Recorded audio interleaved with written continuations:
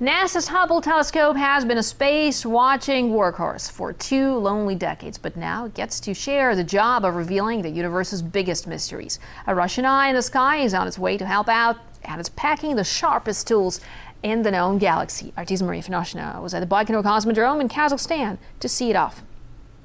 This is the moment Russian uh, space scientists have been waiting for for decades. The Space Observatory, equipped with a cutting edge telescope, uh, marks a huge step in universe exploration as an enormous eye will be able to see further and deeper than ever before. It will be possible to observe uh, the most mysterious, the darkest, and the, the most shadowed corners of our galaxy and other galaxies as well, and stars. It even will be able to observe black holes and shed light on their dark nature. This huge, enormous eye will be able uh, to provide detailed images, detailed pictures of the universe with a resolution 10,000 times sharper than America's Hubble.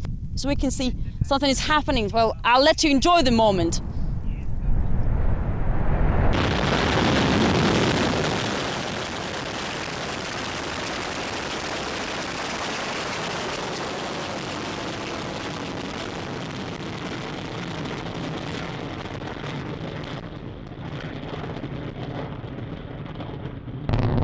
A fantastic feeling. Well, what is uh, going to happen next? After a four-hour journey to orbit, Radio Astron will connect to a control center here on Earth, and some more time will be needed uh, for Radio Astron to unfold its 27 petals and make everything ready to work. Within a month or two, we will start to receive the first results, uh, means the first images of the universe from there.